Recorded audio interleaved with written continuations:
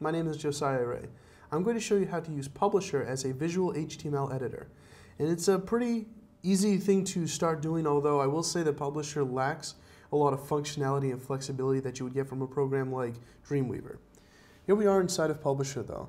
And uh, just as soon as you start it, if you don't have a document selected or anything, it gives you a lot of sort of templates to choose from when you're, when you're getting started. We're going to go over here to websites and we'll just select the very first template that it gives us and say create. Now it asks us what kinds of things you want to do with your website and this is going to create your navigational menu for you. So we're just going to say we want to uh, tell them, tell customers how to contact us, we want to display a calendar and provide links to other pages. And so it's going to show you how it will, the structure that it's going to create over here on the right. I'll say OK. And there you go. It's kind of put the menu into the side. You can add text or remove text, and it pops up a little hint window there.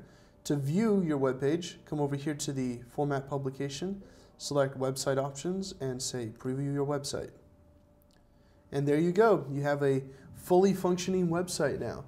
And you just put your own content in, and what you see is what you get. I hope you've enjoyed this video on how to use Publisher as a visual HTML editor. I'm Josiah Rea.